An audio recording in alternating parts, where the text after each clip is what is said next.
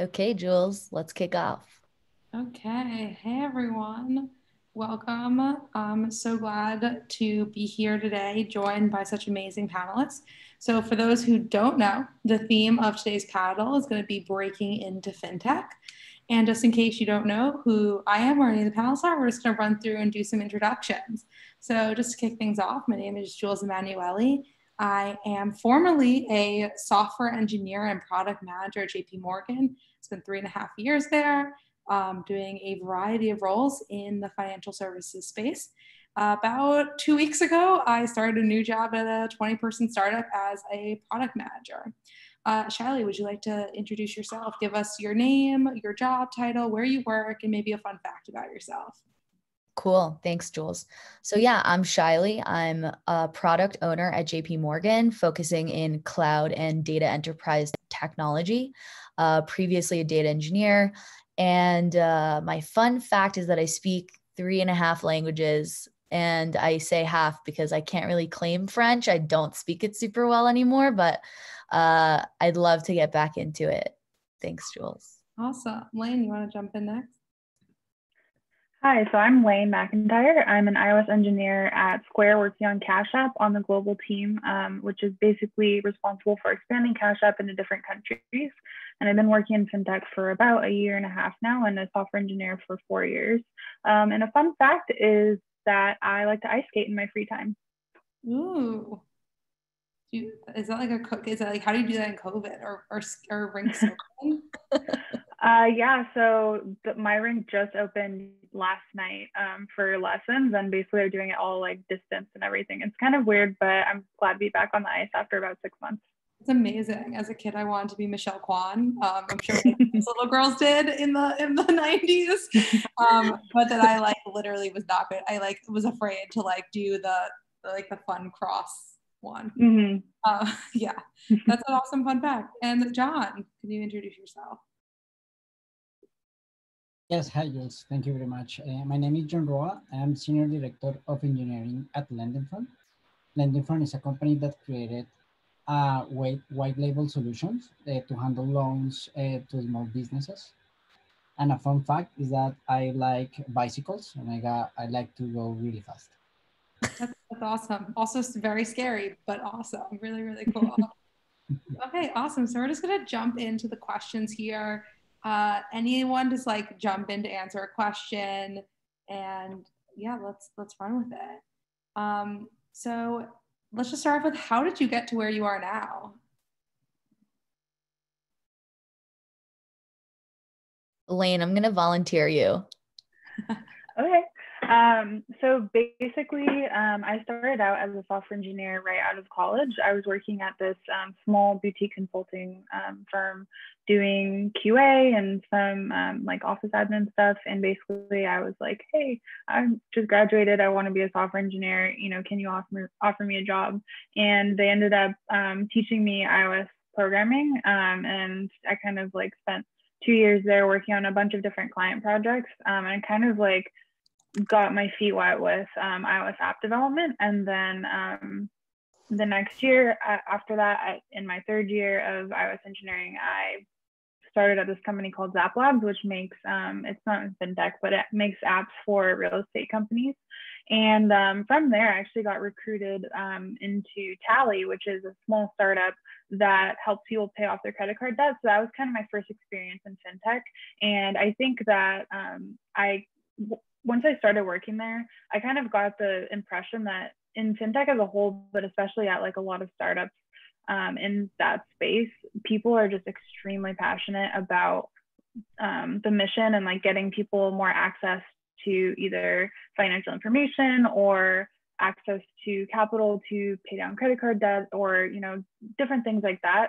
So once i was there i was kind of like okay i think this is the place like i want to end up and continue going. Um, so most recently, about two months ago, I joined Square, um, and I'm working again on Cash App.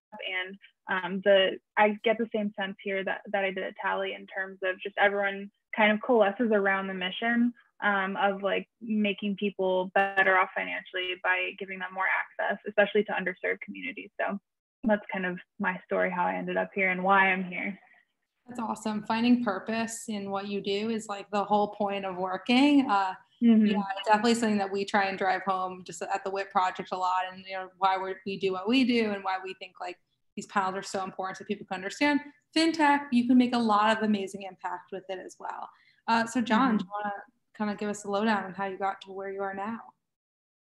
Absolutely, uh, Jules. Uh, well, it started when I was a kid. I really like video games. Um, and for some reason, I, I really like to install those games. And I got to know that there were some packages to be installed and start to reach uh, a little bit about that to, to find out what was about. And I ended up uh, learning how to code when I was 15 years old. Um, then I started uh, college and I'm a, a college dropout but I, I kept a constant um, passion to, uh, with programming. And I really like liked how to create user interfaces. Um, my, for, my first formal job was documenting uh, software. So I was creating, uh, taking snapshots, describing what were the features or the fields, the, the type of the, of, of the data um, in those fields. And I, I made my way uh, through, I became a junior software engineer, mid-level, senior, team lead, and so on. So, so far I have been in the industry like 12 years. That's, that's awesome. That's really cool. I'm sure yeah. you've seen a lot in the in those in those 12 years. yeah, it, has been fun. My mom is still waiting for the for my final um to, to get graduate on uh, as a, a software engineer, the formal education title, but someday she will get it. I think that's like one of the best things about this profession is you don't really need any. I mean, you have it, like good for you. Like you know, you made it through those hard CS math classes, but I think it's like perfect for people who are lifelong learners who just want to keep keep learning and building. So there's a poll out right now if the participants are looking for it, asking about years of experience. Um, so John would fall into the upper, the 10 plus category. um, and while we're doing that, Shylee, do you want to just give us a rundown of how you got where you are? Yeah, totally. So I would fall into like the bottom category in terms of years of experience. Like I graduated from school about three years ago. Um, my path was very nonlinear. I studied math. I was really into applying statistics in the bio uh, genetics field. Um, that was my way to translate technology into social good. Um, and then through more mentorship, I came to realize that academia wasn't a good cultural fit for me. And I thought I'd go try my, my shot in industry um, and came across this program called Tech Connect at JP Morgan. And I'm constantly plugging this experience because it led me to meet Jules and so many other awesome colleagues.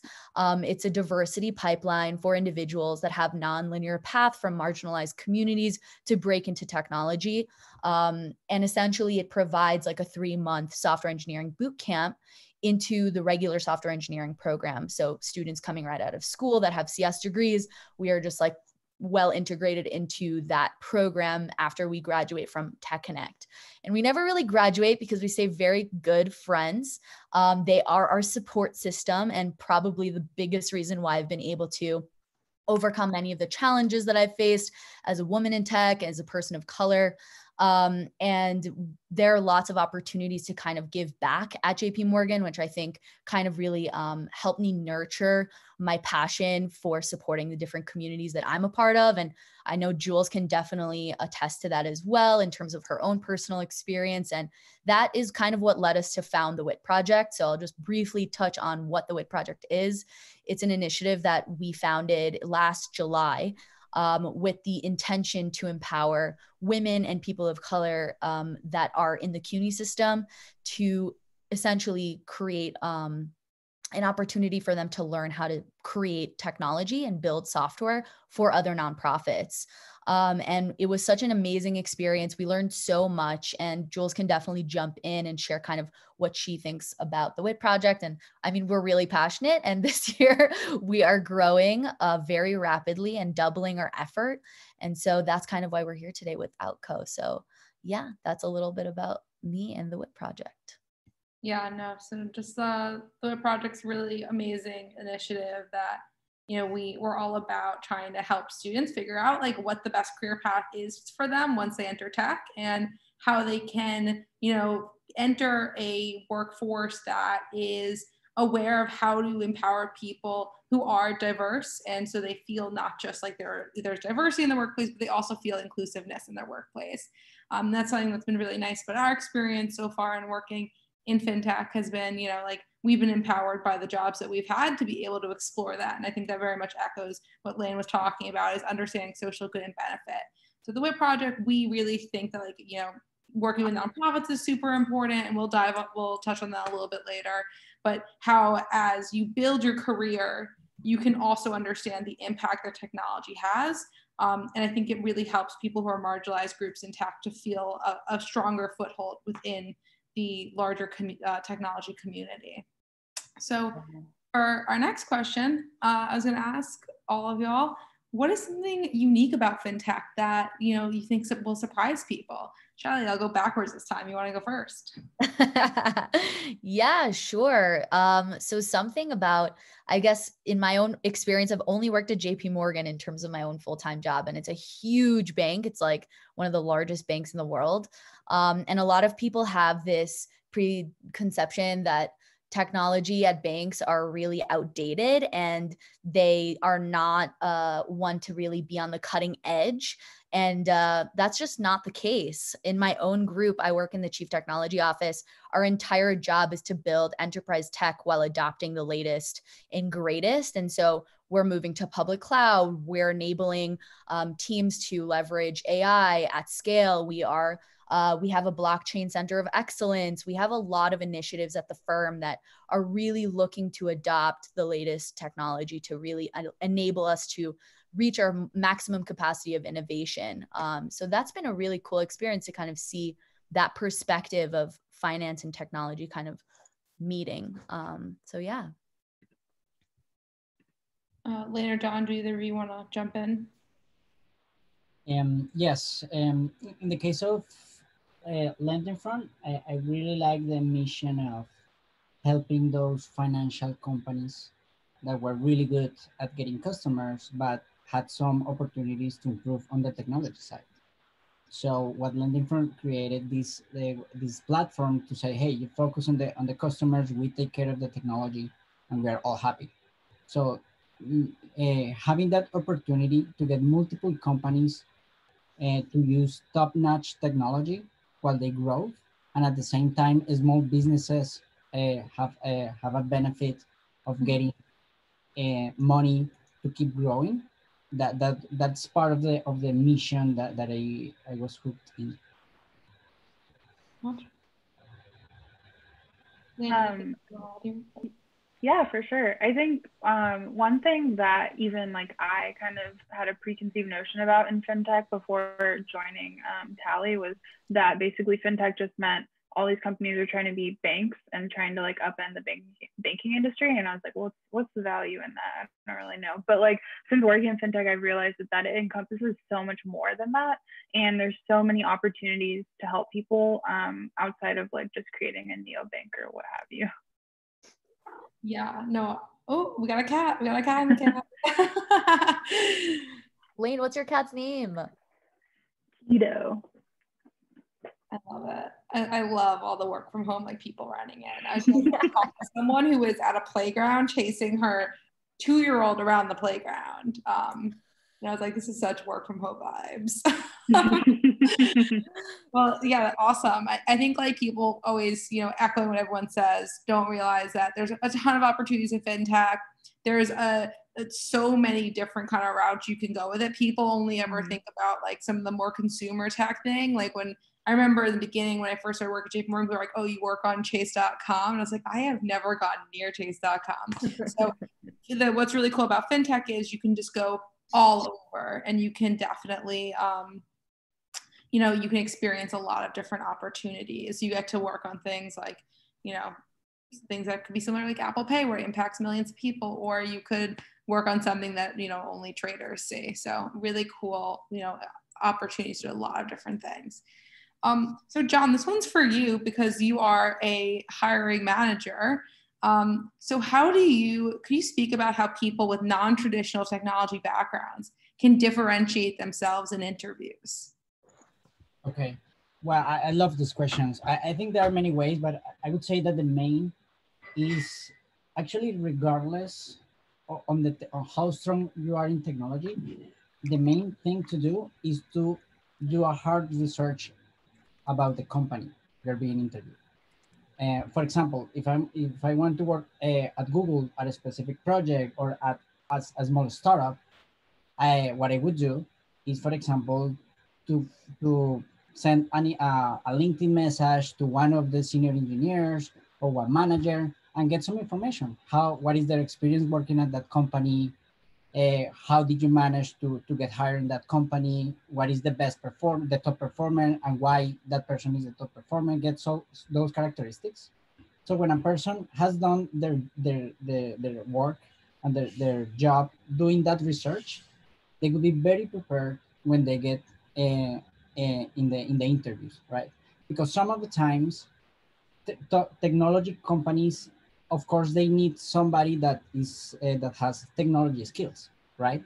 But at the same time you're looking for a person that has a high level of self learn self learning and that demonstrates that, that you can learn on your own and be proactive. That is the second element. So when you are proactive it doesn't matter if you are like a mid-level ios developer you can get better.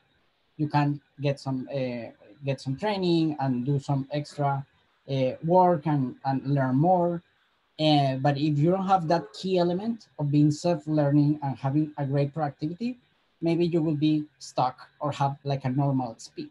So you can differentiate by moving faster.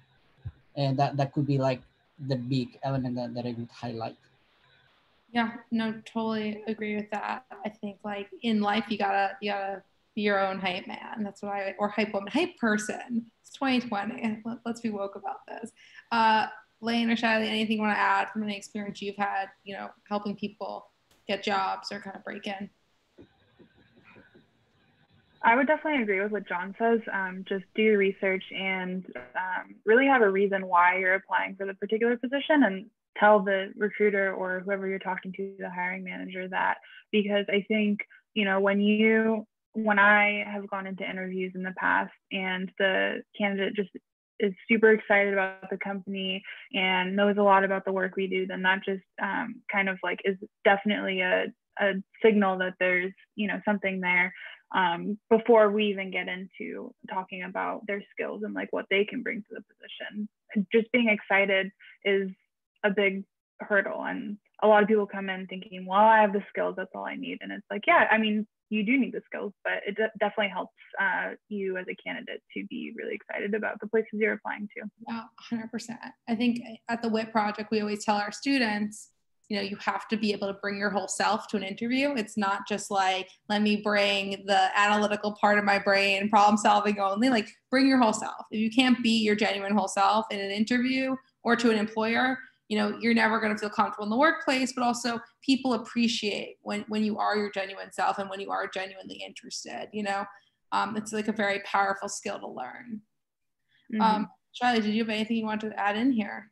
Yeah just touching off of what you just mentioned jules about like bringing your whole self to an interview you might think that your non-traditional experiences like let's say being a tutor or like a babysitter or a mentor at a hackathon something that's like not related to that specific job may have zero uh, ability to translate into the actual job title or like the skill set. Um, but being able to make those um, those experiences look va- of value um, is really awesome in the interview process to be able to diversify yourself as a candidate and like an, ex- an example of that is like for the WIT project, when we're interviewing candidates and they tell us that they were a tutor, um, that can translate well into, oh, this person probably has really strong communication skills. And we're able to see that they're like working on that in other spaces. So don't discount your other experiences that aren't just like coding or something that's on your GitHub. Yeah. Yeah, 100%. Um, and that's when like doing fun, impactful projects come in, right? Like if you do some tech for social good projects that help nonprofits, like you know, do programs like the WIT Project, it helps bolster your resume. Or while you're going through a boot camp, you do don't just do the projects that are assigned to you in the boot camp, you do side projects, or you collaborate with friends, and then you continuously build community as you're trying to get into this field. So that's all really great, great tips. Um, so what is something interesting and innovative? I feel like we just like this is very similar. I'm gonna take back that question. Um, how have you found for those of us who have worked in different industries?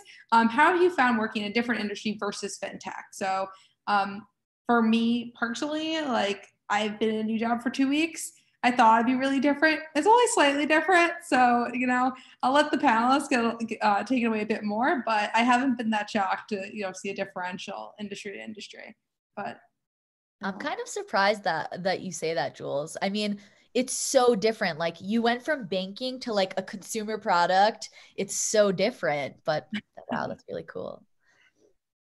Yeah. I guess I also want to like cancel myself out from this question only because I've only worked in banking since I graduated from school. Uh, so I'll leave it for Layne and John to jump in here. So I think um, one thing that I've noticed is a big difference is if you, at least at the companies I've worked at, if you ask someone kind of like what drew them to apply there or why they wanted to get a job there, they invariably mention the mission um, and like they know what the mission is and they can articulate why it matters and why they want to help with it and how their work furthers that mission. Whereas at other companies i feel like that was less the case. It was more like okay we're building real estate apps or i'm you know consulting with different projects. And there wasn't really a sense from everyone that we're working together towards this goal um, and I think that that's something that's been really powerful at the companies I've worked at in the fintech space. Yeah, that, that's really, really true. And that's some good insights. Uh, and John, I feel you're about to say something too. Just jump in, cut me off. okay. Yeah, in this case, has been interesting in fintech that one way to say that I'm not an expert on fintech, but one way to say it is that fintech companies are either transforming an industry or helping traditional companies to get up to speed. Yeah. So that being said, that the, the, the whole fintech um, business, um, let's say knowledge is, is quite, is, it has complexity, right? There, there are interests, there are a bunch of things, type of products. And um, that is, that is very, very, that's fascinating in, when you are building software because you, have to, to think harder on how to create a design that allows flexibility, but at the same time does what is what is supposed to be done in terms of business uh, flows, for example. So that is something that it, that it caught my attention on fintech, while in other industries, of course, the other industries has their complexities, but in this particular case, I have found um, the complexity level is, is higher and that's become that become uh, more challenging and more, more interesting to, to yeah 100% I, i've seen it um, coming from like i was working in investment banking sales and trading building tech for three years which is like so niche and specialized that when I was looking for other jobs in fintech, I would talk to like a payments company and they would be like, you know nothing about anything relevant to what we do. Um, so I think what's so interesting is that there's a lot of specializations. It really can go from like internal tech, infrastructure tech, consumer tech. Um, and then within that, you have all the different levels and everything's so regulated that there's a lot of specialization in there and a lot of complexity. That's actually the biggest difference between switching industries is I actually feel so prepared for my new job because of like this will never this is not as com- doesn't feel as complicated as figuring out like what a bond does and like how it moves through all the 100 million legacy systems that it, it has to move through um, which is also very specialized to banking. Okay so going down the list again um, so you know we've been talking a lot about fintech and you know hyping it up a lot and like what a great industry it is and you know what advice can we give to students who are trying to figure out a way, you know, who want to work in it or, you know, who want to get into the field, but also maybe people who just like ha- are pivoting in their careers, right? People who are in boot camps or coming from like, um, you know, a different industry. They went to a boot camp and now they're trying to get into fintech. um, you know, essentially just like for their first job out of a boot camp or out of college. Um, what advice do we have for them? I would say um, one big thing is just download fintech apps and play around with them. Um, I think that getting to know the products can help you kind of see like what you like, what you don't like, and um, then from there you can kind of build that excitement for applying um, and bring that into um, you know your conversations with recruiters and hiring managers. Um, and I think you know just get your tech skills down. Um, you know, definitely practice um, whiteboarding and doing like online coding challenges. I think that that kind of applies for any software engineering interview. Um, and then, you know, just know know the places you're applying and know why you want to apply there and be able to articulate articulate that um, because that's I think something that's very important, um, especially in like initial conversations with the company. They want to know why'd you apply, and you need to be able to say like this is why I really like your product or I'm really dr- driven by your mission. Um, so yeah, I would just say get to know the companies um, that that interest you and maybe like branch out a little bit into places you didn't maybe think would be um, all that interesting. You could be surprised if you end up playing with the apps and seeing like, oh, actually, this one does a lot of things I didn't realize.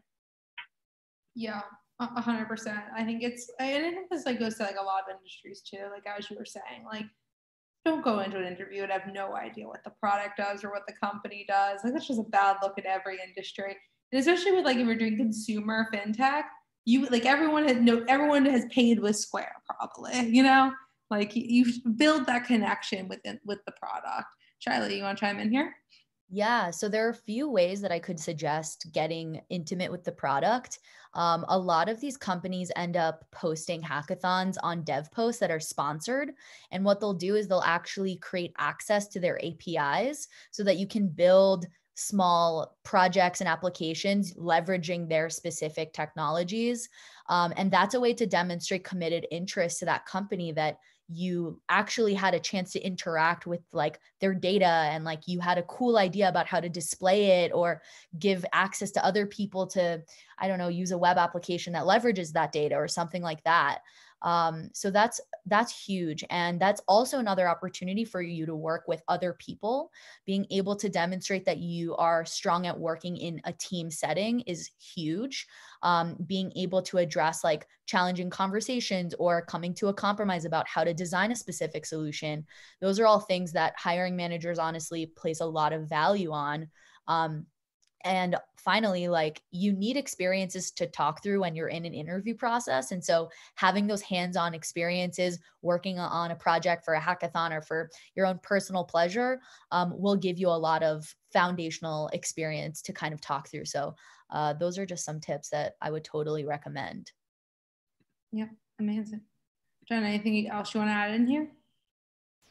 Yes um, i would say an additional one would be to make uh, uh, to do a lot of questions. When you are being interviewed uh, especially when you are joining a small company and you have the chance to, to get in a call with the ceo or the cto or one of the founders that is a great opportunity to get information about the motivation of why that person uh, started the company what was their vision what was their previous job and, and they quit and what was that process uh, how that process looked like?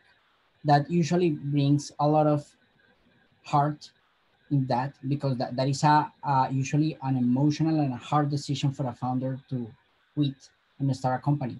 So that information would give you more um, context on what, are, what what that person is is looking to to do with this company and how far do they want to to get and based on that, sometimes this sounds a little bit romantic, but when you have this kind of conversations, you can have you can feel like a, a connection. You say, yes, the, this is the the kind of uh, person I would I, I would like to work with, and help that that person and that company to grow. Yeah, um, yeah, hundred percent. I think like it's a, oh, got another poll. Um, um, so yeah, so I, I think that's awesome. Um, yeah, all those th- responses are great, and I think like hopefully all the students and people who are pivoting in their careers are figuring out some are getting some good tips out of this. Um, as a follow-up thing, Shylee said, someone asked, what is the best way to get informed about hackathons and upcoming events? Yeah, that's a great question. So there's so many platforms that kind of crowdsource this information. Um, DevPost is one of the most popular, where hackathons from all over the world are actually posted. Um, there are other platforms like F6S and honestly like linkedin is like a big place where people are constantly posting about opportunities that are hackathon-esque even if they're not like formal hackathons. Um, but yeah a- another one is if you're a student you can go to the mlh website. Um, there are lots of hackathons posted there and a lot of since the pandemic hit, they've opened up these hackathons to people who aren't students. So if you're a prof- like a young professional or just any professional, you can jump into the hackathon as a participant or even a mentor. So there's so many different ways to get involved. Um, you just have to look for them. Awesome. Yeah, there's literally so many things to get involved with. It's overwhelming at times. I remember I used to have too many events to attend that I was like, I'm, I'm networking too much. I'm hack hacking too much, hackathoning. I don't know what the, the active verb is for that. um, hacking too much kind of sounds like I'm trying to like steal someone's money though, which is not good on a fintech panel. Um, uh, so yeah, I think all of those hold true.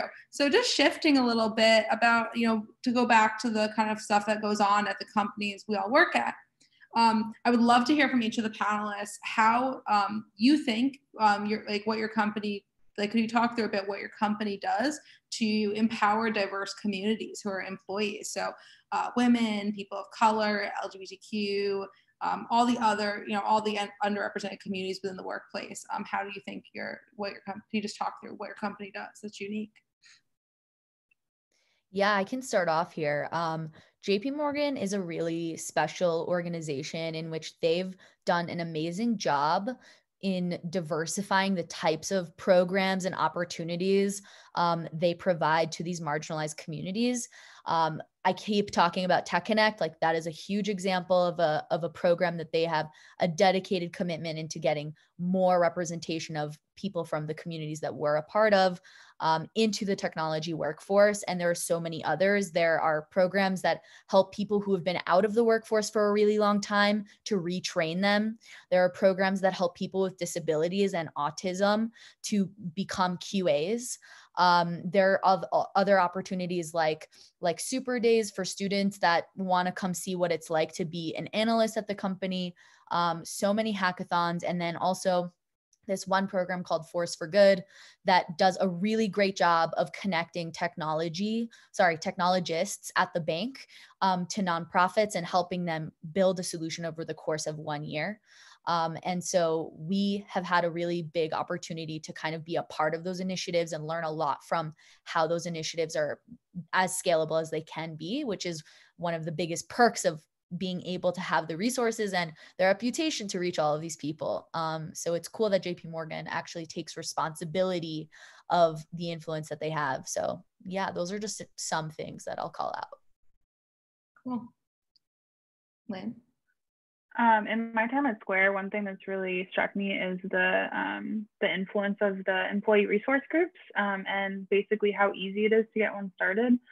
Um, and so there's a really, really strong um, women in engineering group at Square um, that has events monthly and um, they're really fostering um, women who are in the engineering department and kind of bringing those connections and getting the opportunity to network. So for me, that's been really big. Um, and I know that, you know, there's similar resource groups for other groups of people like people of color, um, people with different religions, um, people who have um, indigenous ancestry, like just basically anything where people can come together, like based around that um, identity. There's probably something that exists or people that want to start that. So that's been um, a really cool thing to see coming into Square.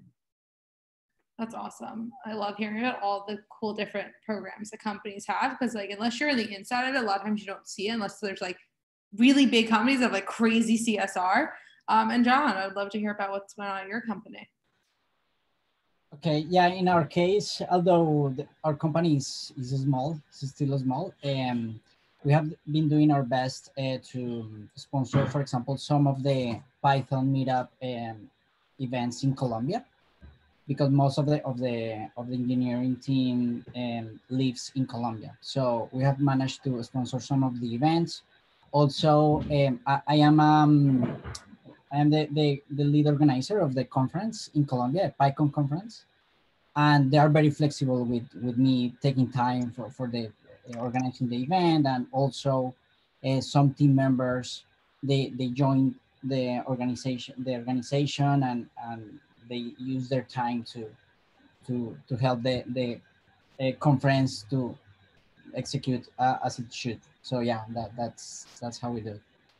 That's, that's awesome. I think no matter the size of the company, it's really important that companies have that on their radar. Um, I think companies with bad culture can't grow and can't thrive. It's really important to have good culture.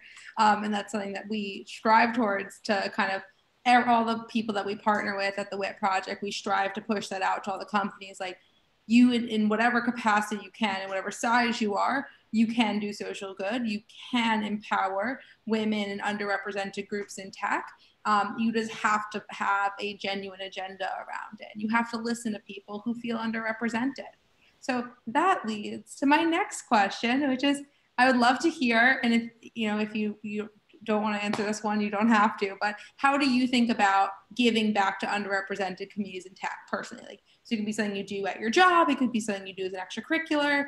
Um, I'll let Shylee go first because I know you, you could probably just talk about the WIT project. yeah, that's exactly what I'm going to be talking about.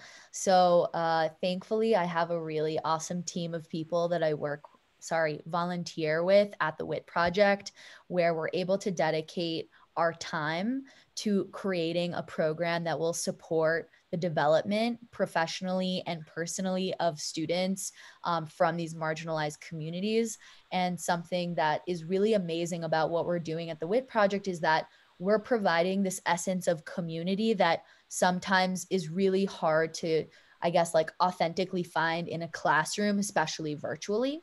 So um, that's actually something that our students gave us amazing feedback on this past year is that the freshmen and sophomores didn't really have that many friends. And as soon as things went virtual, they were kind of alone and isolated in their classes. And being a computer science or technology student is already challenging in it, itself.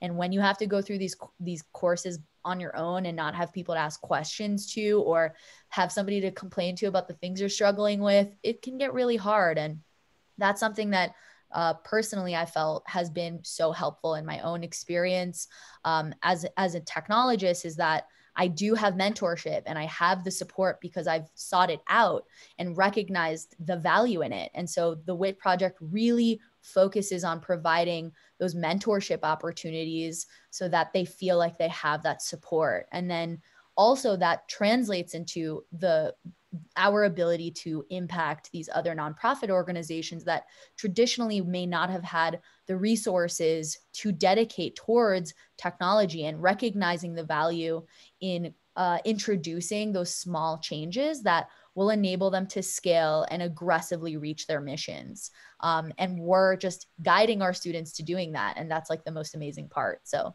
yeah, um, that's the WIT project in a nutshell. That's awesome. And WIT project's amazing. So if you don't know about it, I really, really recommend checking us out on LinkedIn, the WIT project. Or uh, Instagram. Instagram at the WIT project or our website, thewitproject.com. Really, really simple. Um, literally just the name, the WIT project. Uh, Layne, so I hope you've had some time to reflect on this. Uh, love to hear what you're up to in your at work or in your free time. Yeah, um, one thing that I think is really important, um, like Shylee has mentioned, is just having men- mentorship opportunities. So that's something that I've tried to like put out there to um, folks who are a bit more junior than me. Is just like you know, if you want to have a one-on-one, if you want to talk about anything besides work, or you know, how you get a promotion, or just kind of anything. Like I always put that out there to folks. And um, at Tally, I did have the opportunity to mentor a junior engineer um, who was from an underrepresented background. And just, you know, it's very rewarding um, to kind of be able to see someone grow be- and not necessarily like, oh, because I was talking to them, but just kind of see like, okay, I can see some changes, like their code is getting a little cleaner, or like they're asserting themselves more in meetings, or they're feeling more empowered to speak up. Like all those things I feel um, when you are the only X in the room, like the only woman in the room, or um, the only person of color in the room, then it's really hard to kind of break that barrier and be like, I'm going to speak up and I'm going to make my voice heard. So, just any opportunity I can give to um, empower folks is uh, really important to me.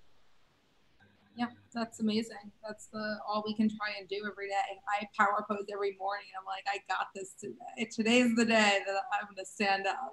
So, John, your last uh, to give us some some insights.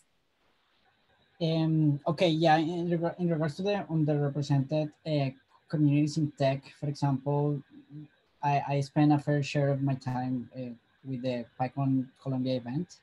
And in that event, we uh, have a specific special alliance with Django Girls uh, community. Um, and in that in that event, in, with that community, what we do is during the, the conference, there is a, there is a specific space for the younger girls to, to execute their, their tutorials or their workshops. Yeah, and, we and we do our best to cover some expenses and, and some of the time I, I go there and I, I become I have played the role as mentor um, in, in the in the in the workshops. So yeah, that that's has been done for, for a while awesome. We are big fans of Django Girls. Uh, so that's cool to hear you collaborate them with them. Uh, they're like intro to Django, um, like tutorial is, is awesome for people getting started. Um, if anyone's trying to learn Django or brush up on some Python skills, check out the Django Girls tutorial. We use it uh, in our WIT project curriculum. So awesome that you collaborate with them. So one last question before I let you all go. This is kind of like a fun question, just like everyone thinking about, um, you know, how finance, fin- fintech kind of tech can be leveraged in outside industries. How do you see nonprofits? Um, how could they benefit from using, you know, having more access to the technologists who work at fintech firms or fintech technology? Because um, it's quite expensive a lot of times, and a lot of nonprofits don't have the budgets for it. Um, Shylee, you want to you want to go first here? Yeah, absolutely. Um, something that I learned really early on um, at JP Morgan was um, the benefits of leveraging cloud technologies, like managed cloud technologies, whether it was like it's a SaaS or a PaaS or an IaaS. Um, it that that uh, business model essentially democratizes access to resources by paying as you go. Um, and making those resources really readily available and managed means that it's an easy approach to get into um, i guess like these technologies that may traditionally be like sourced by high tech or fintech or other industries that have the actual uh, dedicated teams to leverage these services. And like a big example of that is like uh, salesforce. Like lots of nonprofits leverage this managed cloud-based service because it helps them manage a lot of their work streams. Um, so and we see lots of big companies leveraging products like Salesforce as well. And what's cool is that these massive platforms also have uh, discounts, like deep discounts for other nonprofits. Like Microsoft Cloud has a, a, really cool partnership with lots of nonprofits. So does Salesforce. They even create dedicated products specifically for nonprofit organizations. So it's just kind of about creating accessibility to that information and making it consumable so that nonprofits can actually translate their challenges into how they could leverage those technologies and also having uh, technologists volunteering to help them consume those technologies, replugging the WIT project. So, yeah. Awesome. Caroline, any anything to add here? Um, I think apart from the technology aspect, one thing um, that I've seen be really beneficial for both um, fintech companies and nonprofits is to partner together on um, different initiatives. And maybe it's not necessarily like, you know, we're providing you with a certain technology, but it's more just like we are like coming together to work on a project, um, maybe outside of the technology realm, um, to advance a cause that is important to the company. Um, and I know like I've there have definitely been companies I've worked at that have worked with like Hack the Hood, um, which is a nonprofit to um, increase um, the participation of underrepresented minorities in the tech industry. So like it, it doesn't necessarily need to be surrounding technology. It can just be like we're partnering together, we're um, mentoring people who are going through the program, um, and we're providing that kind of support and opportunities for potentially like internships or jobs in the future. Um, so I think there's a lot of opportunity to um, you know get get your name out there as a nonprofit by partnering with a fintech company. Yeah, 100%. Um, it's also just like a great way if you're just trying to break into fintech or break into you know tech in general, right? Like volunteer with a nonprofit, get some hands-on coding experience. They probably partner with larger orgs, can help get, connect you in like everything in life. Like you know, it's it's everything's interconnected. So it's a really cool other kind of path that you can use to try and you know volunteer, do some good, but also maybe make some connections to get a job. Um, okay, John, was there anything you want to add, or, or are you good? Um, yeah, I would say that besides um, leveraging the financial services technology, I would say le leverage the fintech talent. And what I mean by that is that when you have this amazing team that somehow can help a nonprofit organization, for example, when I, when I, a few years ago, um, I, joined, I helped um, a, a nonprofit organization called uh, CodeRise and it was to, to teach children how to program. Yeah. And I, I, joined because I was very interested uh, about technology and how to explain a, a relatively complex term to mm -hmm. children. Yeah. For me, that was a fascinating uh, topic to handle. So I, I even started to read about teaching, about ch children, and, and I said, okay, what, what are the, the methodologies that are out there to teach how to program. And, and that in a personal uh, experience, it, it, helped me um, to know how to communicate with teams. When I'm in my daily job, if I'm able to, to share, uh, to explain a kid how a for loop works or an if statement works or a class, that, that would definitely, uh, that was definitely helpful for me to communicate to a board or a CEO or a CTO, how would a project work? Yeah. So one way to do it is like to engage to to get help uh, from the team members of, of a company and get them to join those non nonprofits and you can see how they can refine some skills sometimes uh, soft skills and contribute to those nonprofits and at the same time you get a benefit of those professionals getting better yeah, hundred. Yeah, hundred percent. I think it's it's a great, great way to kind of you know be able to use those skills to you know do some good. Um, so we're at the end of our question list here. If anyone has any final burning questions, I urge you to type ferociously into the Q and A chat or or the regular chat. I don't know the difference. I'm not that fancy with my Zoom usage. Um, And in the meantime, let's just do a quick recap. So, uh, hopefully, this was really helpful for those trying to learn more about the different kinds of jobs and roles you can have in the fintech industry. We got, oh, we got a question.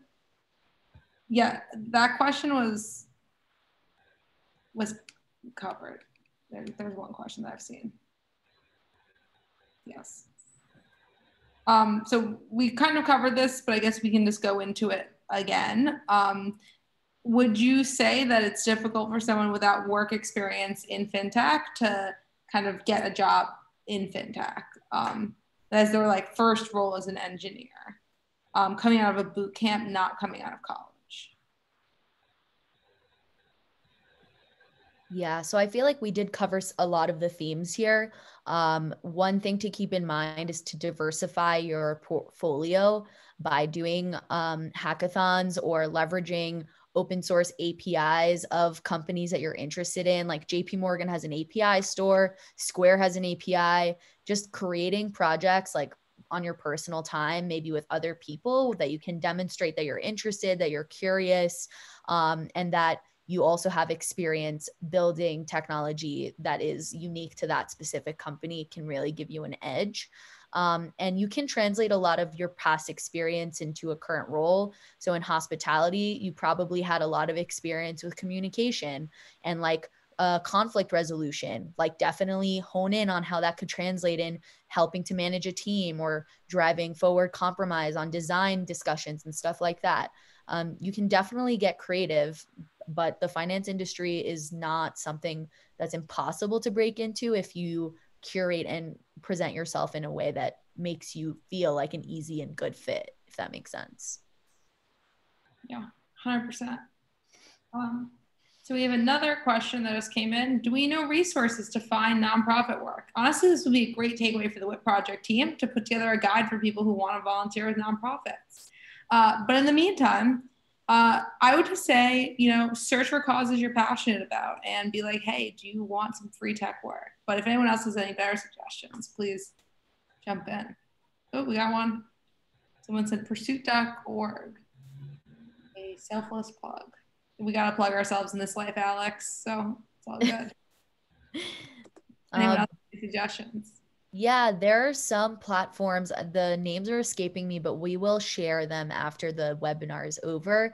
Um, platforms that actually connect technologists to uh, projects that nonprofits are working on. So you can volunteer your time and kind of uh, you know translate some of that knowledge from your day to day to those nonprofits or learn you know off the off the cuff um, but you're able to kind of just um, i guess decide like what your time commitment is because you're volunteering so if you have 10 hours a week then you say that straight up and you say i can work on this specific feature of something for 10 hours a week so uh, we'll send that afterwards uh, to all of the attendees very cool um, another great question we have. Um, good student project suggestions for fintech related or security projects. John or Layne, do you want to take this one?